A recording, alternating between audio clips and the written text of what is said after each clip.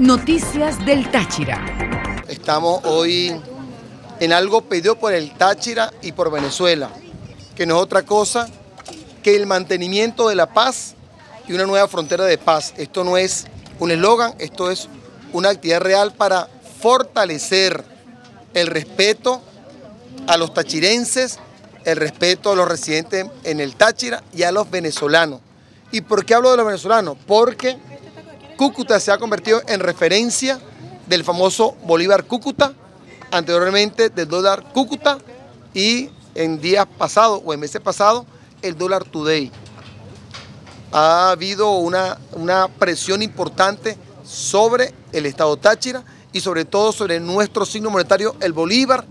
Hemos prometido durante mucho tiempo defender al Bolívar y estamos en eso. Hoy comenzamos con tres casas de cambio en el Táchira, hay otras en el estado Zulia y otras lógicamente en la ciudad capital. Comenzamos con tres, pero sabemos que eh, tener ocho casas de cambio es muy poco para la demanda de público en este caso, sin hacerle daño a la economía colombiana, que son nuestros hermanos y son nuestros amigos. Como punto de referencia, vamos, se está en este momento ofertando de acuerdo al valor del dólar americano en la República de Colombia y es el siguiente. Cuesta en Colombia 2.937 pesos colombianos por dólar americano. Esto, por supuesto, nosotros lo estamos eh, eh, multiplicando por 200, eh, la referencia a 200 dólares americanos.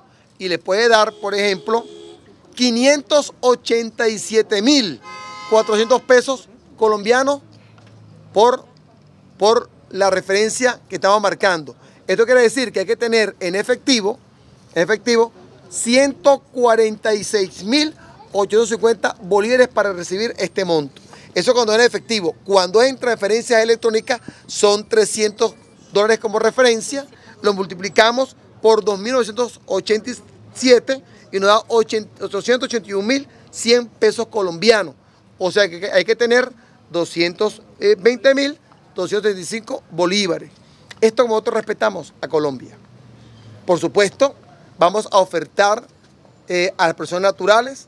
Deben tener, debe venir la persona natural, no puede mandar un documento o un documento notariado o un documento registrado.